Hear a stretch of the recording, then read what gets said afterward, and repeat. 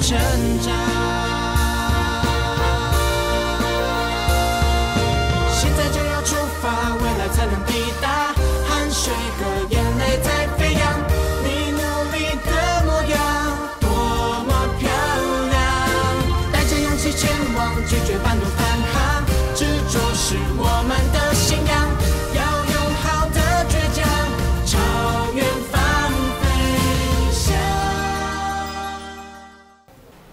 孩子好快就长大了，不是吗？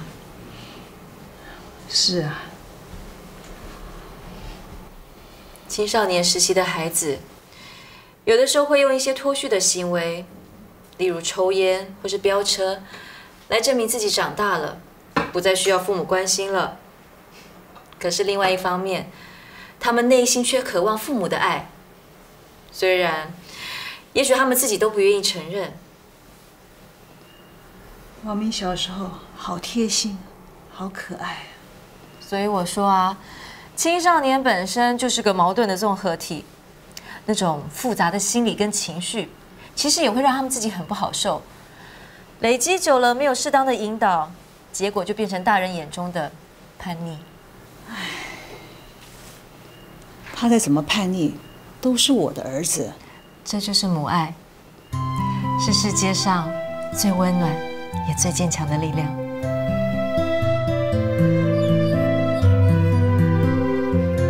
我也是妈妈，我很能体会你的感受。我的两个小孩都在阳明念书，也都是青少年。哦，那你怎么跟他们维系感情呢？谁说爱要分分秒秒在一起才能显示爱的伟大？这个吗？你对王明的爱有因为你在新加坡而减少吗？当然没有啊。我知道，当然没有，所以你更不需要觉得内疚啊。即使跟孩子距离再远，你也可以用电话、email 或是最传统的写信来表达你的关心，或者是在寒暑假的时候安排王明到新加坡去，去看看你们在忙什么，还有为什么要待在那里。孩子的关系怎么样？很好啊。他们都一定很乖、很听话吧？常有人说，我的孩子一定都很乖，所以我才可以放心的到花莲工作。可是我却说，是因为我到花莲工作，我的孩子才会变乖的。这为什么？我不懂哎。因为我从小就给他们建立一个观念，就是事情做得好不好，你们都要为自己负责。所以我不会让他们用哭的、闹的来达成目的，那些方法对我来讲都没有效。所以他们也知道，遇到事情的时候，只有负责、理性，那才会有效。你都不会担心或牵挂他们吗？一直担心有什么用？人跟人之间的感情不管多深，都会有分开的时候。在分开的时候，我做我爱做的，我该做的；你做你爱做的，你该做的。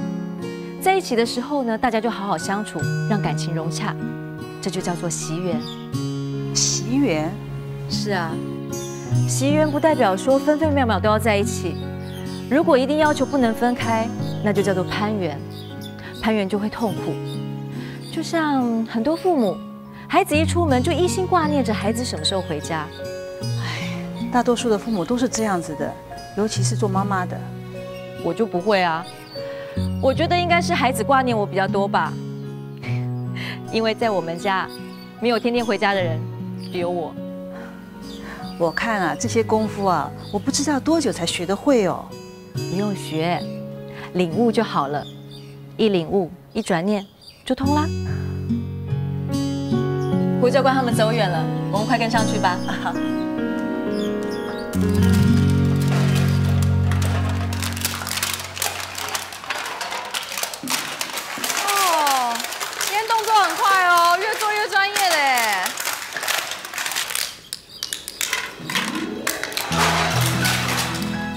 这王林跟我上次看到他不太一样。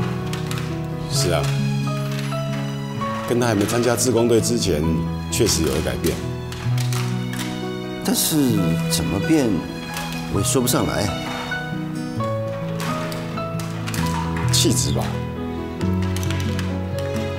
气质，嗯还有眼神，他眼神里的茫然跟愤怒不见了。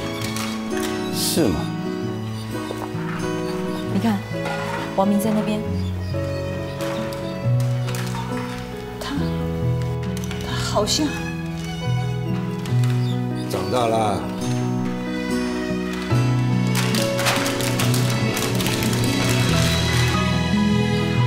范老师，主任，主任，教官，王明的爸妈来看他了。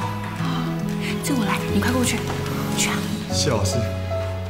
王明，好，我的儿子，好，别太激动啊。儿子长大了嘛，嗯。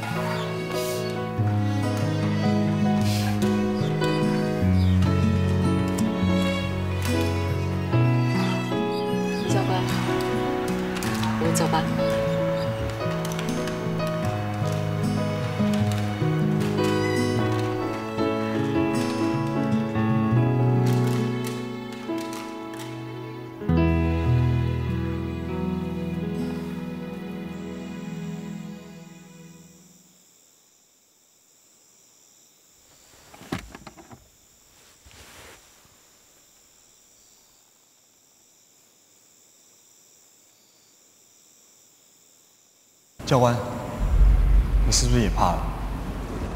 我想人最怕的，应该是承认错误和面对自己吧。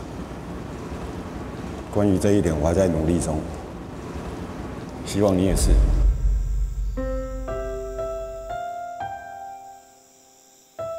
我觉得你是最好的人选。我知道你在犹豫什么。我不抽烟，所以我在纠正学生抽烟的时候，我可以理直气壮。我想，如果你愿意，你也可以理直气壮。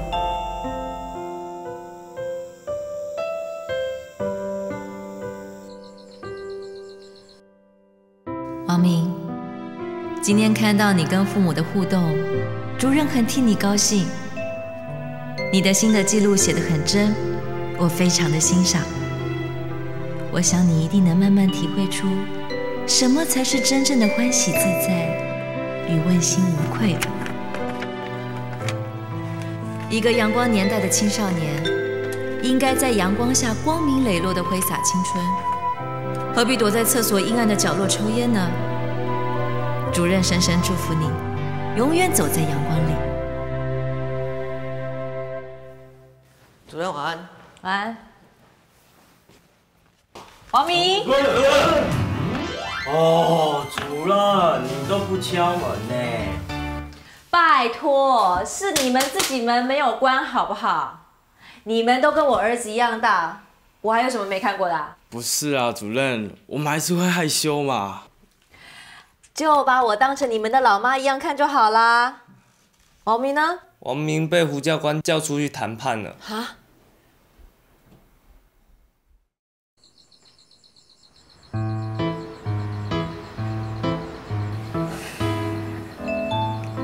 这是我车上的最后半包烟，希望也是我点燃的最后半包烟。我现在是在跟我的意志力抗衡，相信你也是吧？是谁说要看看跟胡教官谁先战胜自己的啊、你在向我挑战？哎，是你先下战帖的吧？明明是你先说什么，人最怕的应该是承认错误和面对自己，我才写在新的记录里的。So what？曾主任也在学务处里教英文哦。Why not？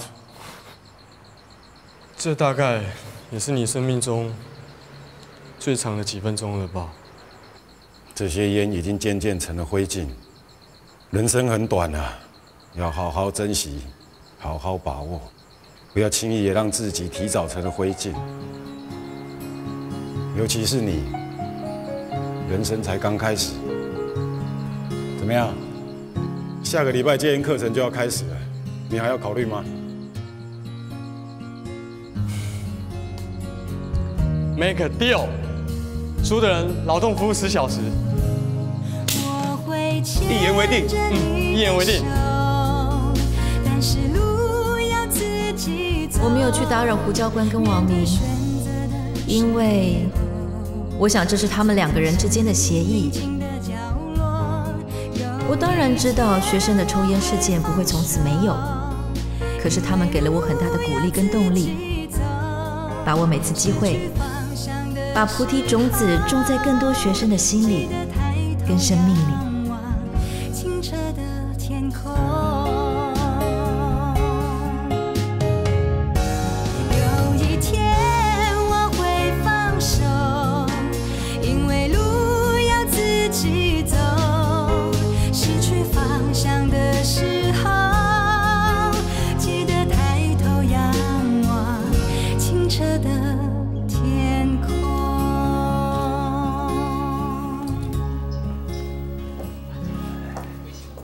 回来了，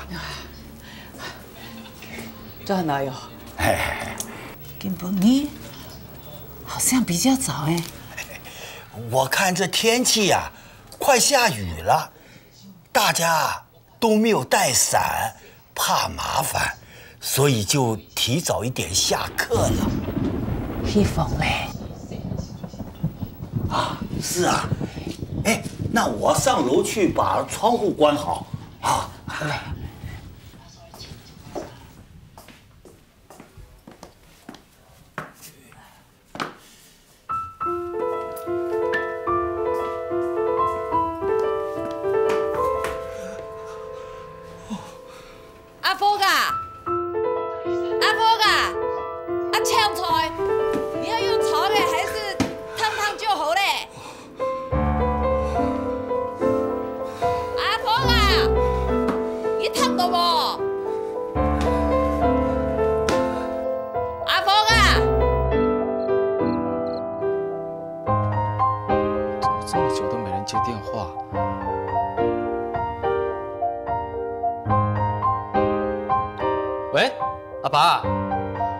还。在想怎么那么久没有人接电话？阿美在帮阿梅洗澡吗？阿梅还好吧？阿爸，你是不是人不舒服啊？我听你说话很喘哎。阿爸，阿爸，你怎么了？阿爸，阿爸，说话！喂，阿爸。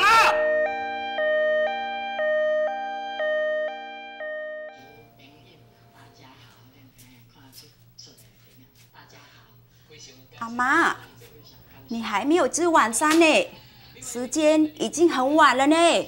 几点了？宫崎玉然到现在还没有回来，他们也不打电话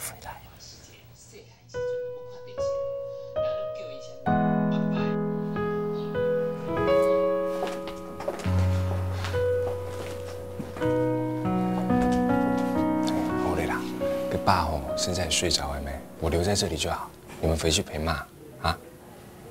嗯，二哥，那今天辛苦你了，有事情再跟我们联络。快弟啦，哎，跟回去哈，记得跟阿妹说啊，爸的情绪很稳定啊，跟医生有交代啊，做完检查是可以回去的，啊。我知道。二哥，那我们先回去了。嗯，开车小心啊。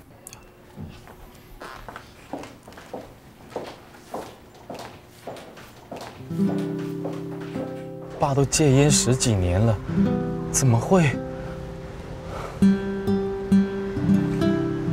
现在最重要的是要让爸安心治疗。我们要跟医生保持最密切的合作，还有了解完整的医疗方案。不管怎么样，都要让爸的生活品质维持在最好。我到现在还是没办法接受，爸只是感觉爬楼梯会喘，怎么会一检查竟然会是末期？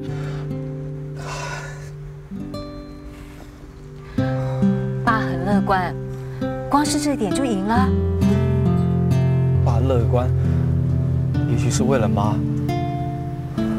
那我们就更应该了解爸的心意，和爸一起坚强乐观起来啊！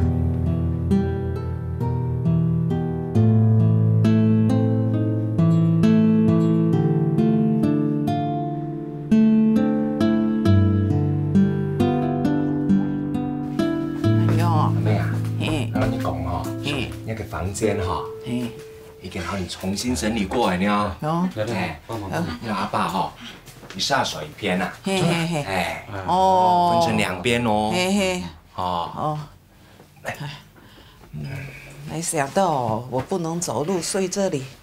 啊！现在你阿爸也不能上二楼，也要住在这里。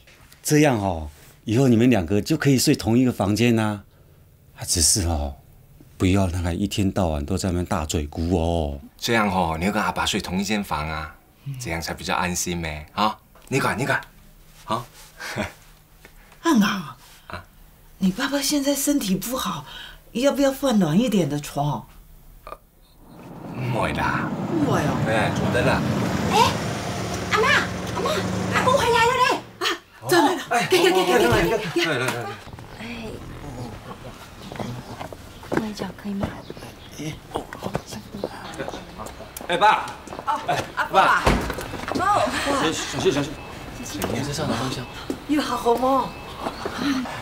爸，你个房间哦，给你整理好了，在一楼啊。好好好好。呀呀呀，爸有好好吗？爸，爸爸在这边。有没有送？你出来外面干什么？外面风那么大。我好啦，没好的话，医生不会让我出院的。哎 阿爸，我先扶你进去了。阿六，阿爸，我扶你进去了。有劲，我问他阿六了，我在这。来有劲，来来来有劲。哎医生怎么说？医生说，好，我会跟正光的爸妈说，爸，你也早点休息哦。嗯，拜拜。你爸打电话来关心了。嗯，我爸说，等爸的精神状况再好一点的时候，他跟我妈再过去探望他们。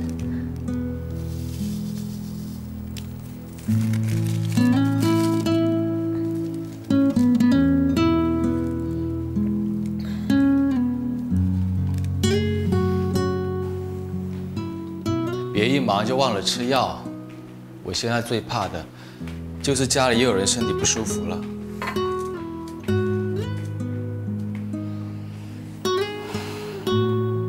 难为你了，要照顾这么多人。难为我什么啊？照顾你们本来就是我应该做的啊！而且家里兄弟姐妹这么多，可以互相支持和分担。我最担心的，反而是你在花莲那么累，万一发病，谁照顾你啊？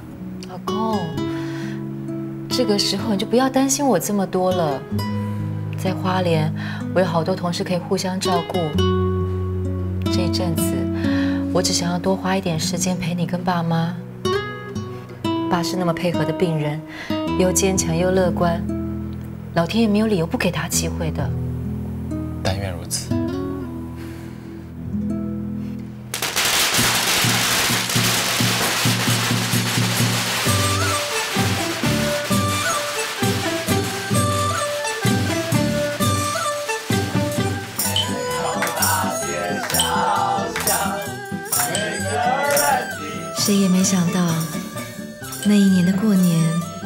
就是公公跟我们一起过的最后一个年了。恭喜恭喜恭喜你呀！恭喜恭喜恭喜你！来来来，大家吃点水果，吃点年糕。阿美放那边。阿美，我叫你买的瓜子烙、铁条米又拿出来么？有，我去拿。爸，你今天看起来精神很好，要不要打麻将啊？我身体哪支持得住嘞？哎，你们打就好了。打麻将？真的假的？当然是打真的，谁跟你打假的啊？好啊，打就打，谁打谁？来来来来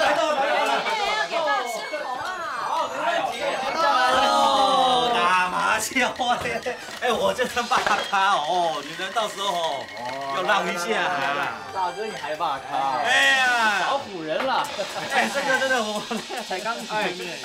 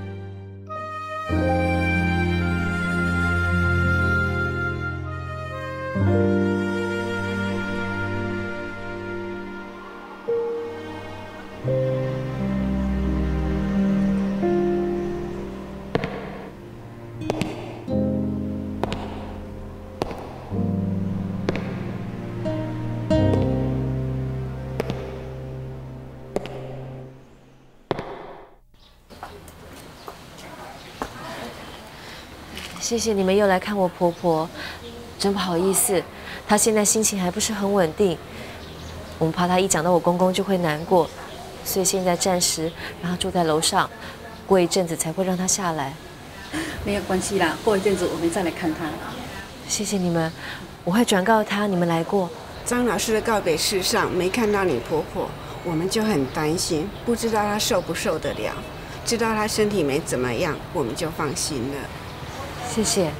那天的告别式来了这么多人，那么多的慈济师兄师姐，这么风光，实在不简单。你婆婆应该感到安慰才对。是啊，我婆婆很高兴有这么多人来送我公公，包括你们唱歌班，全部都到齐了。应该的啦，你公公待人这么好。那我们先走了，改天再来。你们要多陪陪你婆婆。一定会的，我儿子现在就在上面陪他呢。那就好，那我们先回去了。慢走。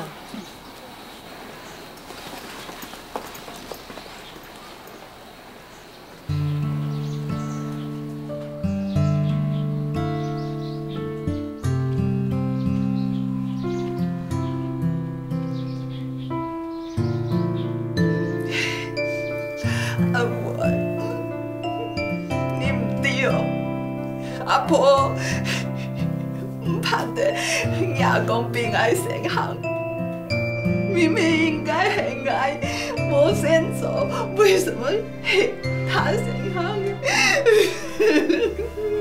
阿婆，你不要再哭了啦！医生说你一直哭，牙会升高耶。你又我我，阿婆又看不到，管他眼压有升高没升高，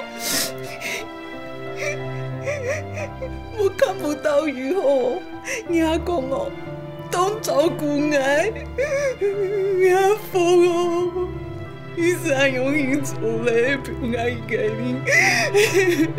阿婆，既然你那么感谢阿公，那你就更不能哭呀。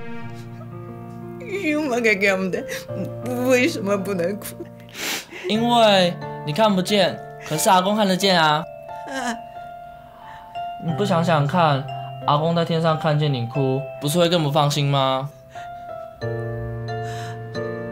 哦，当然是啊。阿公看见你一直哭，一定会更伤心的。有有有有道理，有道理。我不哭，不哭。阿婆乖，这样阿公才会开心啊。君友会在这边陪你。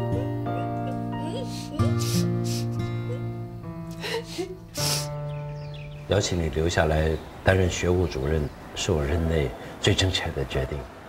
看到各项制度渐渐上了轨道，我特别的感激你。校长，您不要这么说，这是大家的努力，也仰赖您的支持与信任。同时，这这也是姻缘啊。我很高兴看到此中成为一块全人教育的沃土，我也可以安心的交棒了。校长，您真的不考虑留任了？到了该退休的时候，就应该把舞台让给别人。在这段时间，对你感到最过意不去的是，你牺牲了那么多的家庭生活，尤其是还遇到了你公公过世。对正刚师兄，会特别的感激，他那么的支持你，也支持我们慈中。谢谢校长，慈中对我来讲就像是个家庭，这里的老师、学生，甚至是家长之间都有很深的感情，不也是个大家庭吗？是啊，不过这个大家庭的家长要换人做了，以后呢，我就是这个大家庭的朋友了。何止是朋友，也是我们的良师和亲人啊！以后曾主任先靠你了。校长您放心。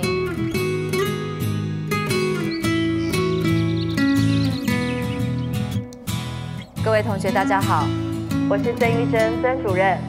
新的学期即将开始，主任在这里欢迎每一位已经住进宿舍的职中小孩。为了让即将报到的新生第一眼就爱上我们的宿舍，主任现在要去巡逻跟打扫。有没有同学想要一起参加啊？想要参加的人，请到交易厅集合。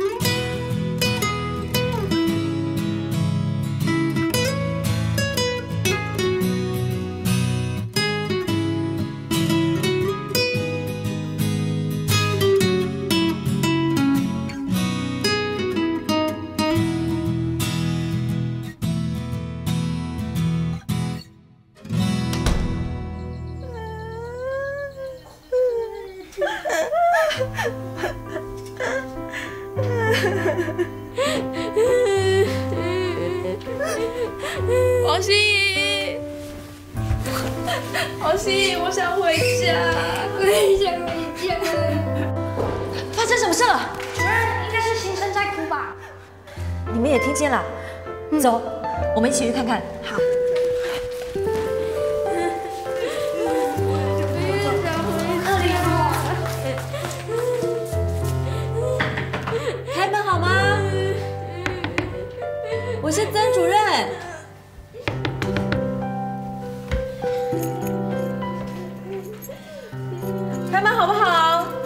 进来喽。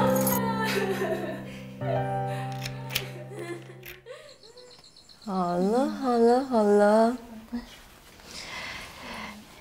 第一次离家来到一个新的环境，难免会想家，这没有什么不好意思的。你过一阵子就会适应的，就像这几位学姐一样啊。来，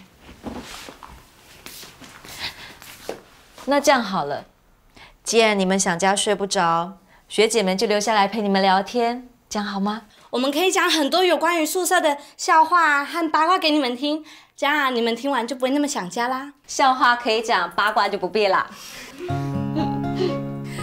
那是要学姐们留下来呢，还是要学妹们到你们的寝室去？那我们房间好了，比较温暖，也比较没有新地方的感觉哦。对啊，聊天也没有关系哦。那可不行，聊累了总是要睡觉啊。主任，这还不简单，就把枕头跟被子一起带过去啊。聊累了，他们睡床上，我们打地铺就好啦。好，那是你们说的哦。转移阵地吧。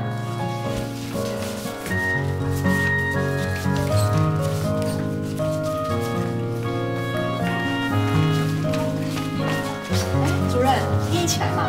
我不要，我在啊。你们哪能那么痛快的讲秘密？主任，还是你最了解我们了。嗯，好好，快去吧，我来关灯关门。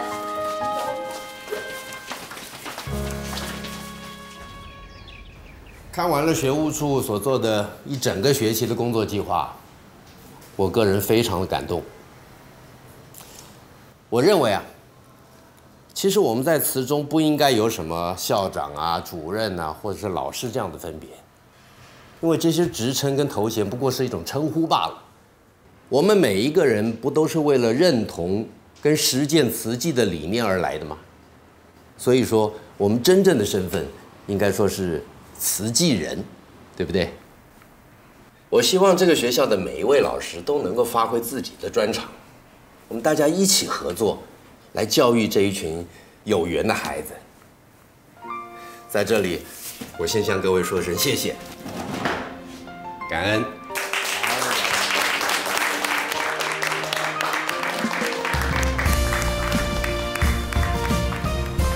宇轩，我觉得欧校长人看起来好好哦，他让我有一种好的开始就是成功的一半的感觉。看你现在那么有信心，跟以前大不相同喽。你才是吧？慈济人，师姐好，你挖苦我啊？好啦，不要生气哦。好。怎么样？戒烟戒的还顺利吗？怎么会顺利？你们不抽烟的人是不知道戒烟的痛苦的，那简直就是哦，魔鬼的诱惑。是哦，那怎么办呢？怎么办？还能怎么办？就只有靠坚强的意志力撑下去啊！谁叫我是教官，本来就应该要做学生的榜样啊！我跟网民的小子有过协议，戒烟书的人要做十小时的劳动服务，哎，那真的吗？那你要加油哎！没错，我一定会加油，战胜烟瘾，我才可以得到最大自由。没问题的，我看王明那小子这次也是认真的，我相信你们两个一定是双赢的啊！我知道我的个性急，想法又多，有的时候不自觉会得罪了很多人，所以我很谢谢曾校长还有其他老师对我的包容。有时候啊，我们做事情眼光就是放远一点。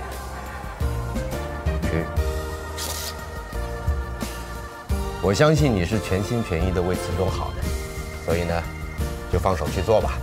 谢谢校长。我家师兄常说我是那种火车头个性的人，常常只顾着往前冲，就会忘记或是忽略后面车厢有没有挂好，乘客有没有坐好。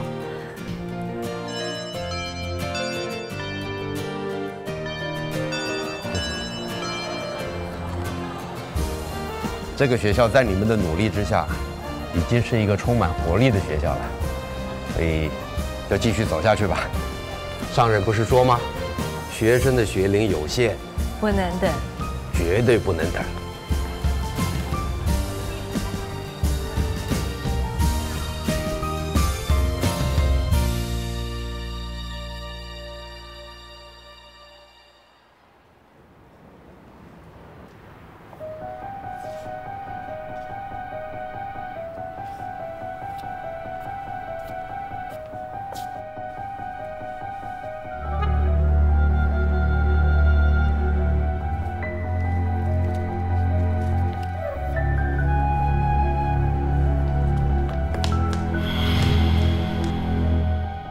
什么？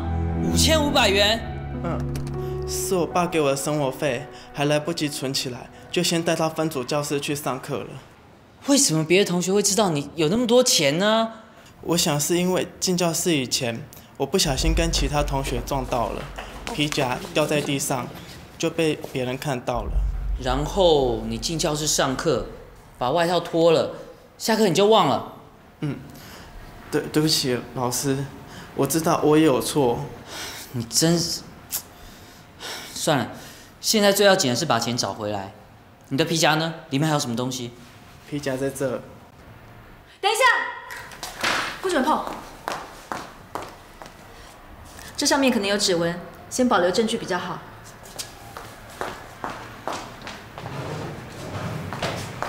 来，皮夹给我，丢进来。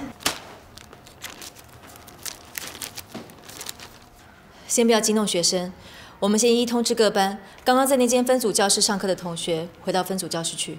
好，我马上去办。各位同学请注意，今天早上第三节课在第三分组教室上课的同学，现在回到第三分组教室去集合。为什么？你们先去，去了以后学务处有事情要宣布，动作快一点，我要去通知别的班级。奇怪，到底发生什么事了？去了就知道。各位同学请注意，外面的同学也注意一下。今天早上第三节课在第三分组教室上课的同学，现在马上回去集合。学务处有事情报告，动作快点。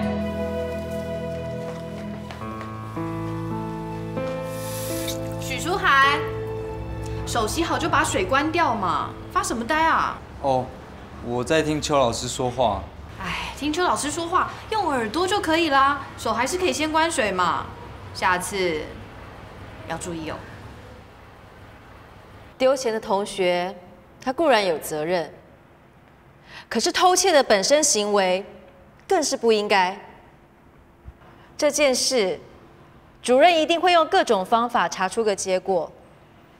但是在这之前，我希望给偷窃的人一次机会，希望你可以亲自来找我自首，把钱还给遗失的人，或者。也可以找生活辅导组的邱组长来谈谈。同时，我也希望同学们能够提供线索，不要包庇，以免犯了错的人一错再错，这样对他以后的人生跟前途会有负面的影响。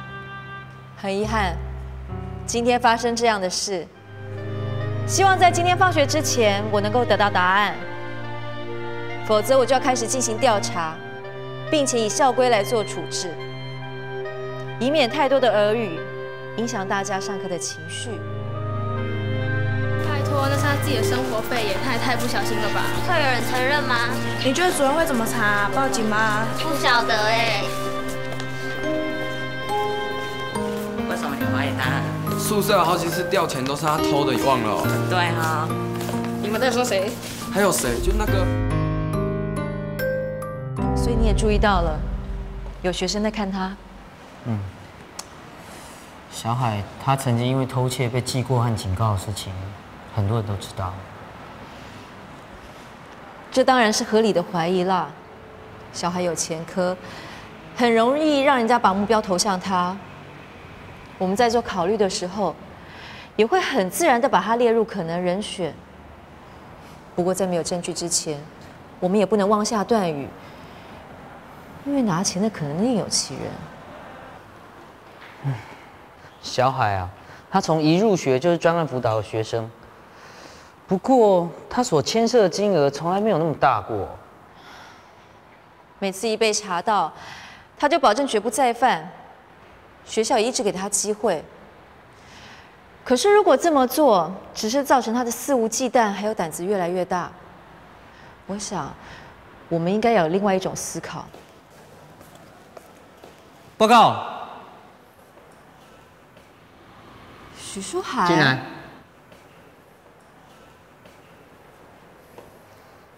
有什么事吗？主任，邱老师，我……嗯，慢慢说，没关系。我可能看到偷钱的人了。你说什么？你看到？嗯，我回教室拿铅笔盒的时候，看到一个女生。从教室跑出去。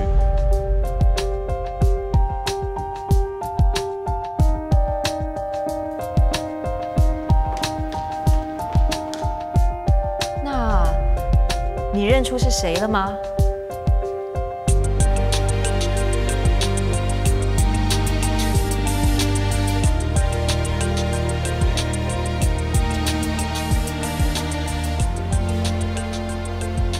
洪佳云。会呢，主任，你打算怎么办？我想先跟佳云的导师谈一谈，然后再约谈佳云。我有一种直觉，事情不会这么简单。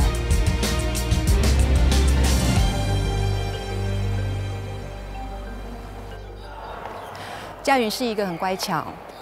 热心参与活动，甚至可以说是品学兼优。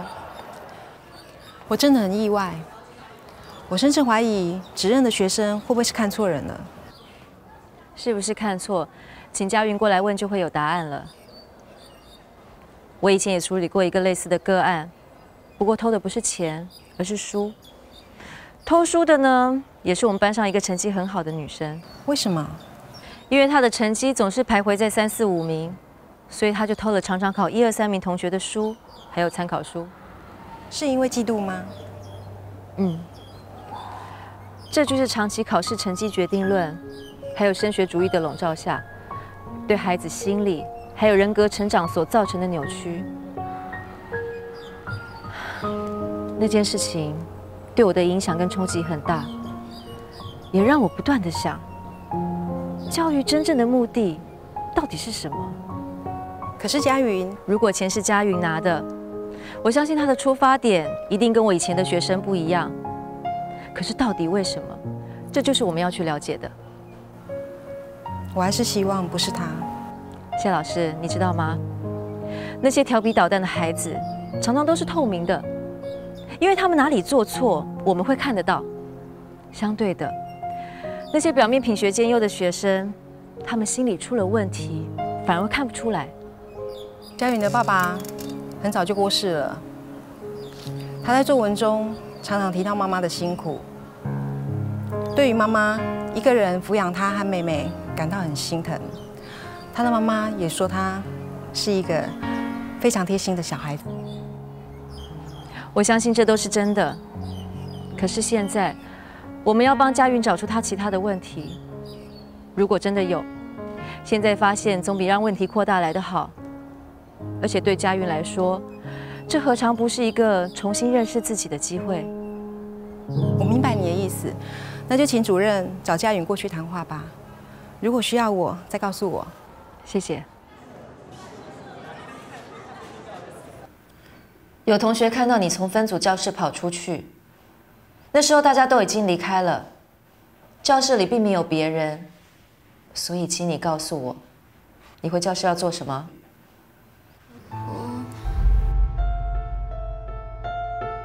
有东西忘了拿？如果是，是什么东西？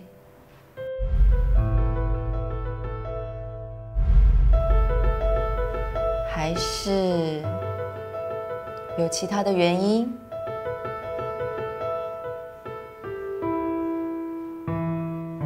佳云，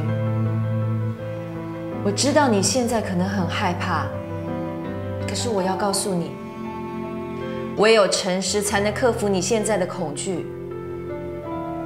主任，我拜托你不要告诉我妈妈好不好？我怕她会生气。你先告诉我，为什么？为什么你要拿那些钱？我希望我妈妈觉得我是一个很节省的孩子。什么？所以，我尽量不跟妈妈拿钱买东西。可是，我看到别人有的东西，我也想要有。所以你偷钱，是为了买想要的东西？佳云，你怎么？你真的太傻，也太没有智慧了。主任，对不起。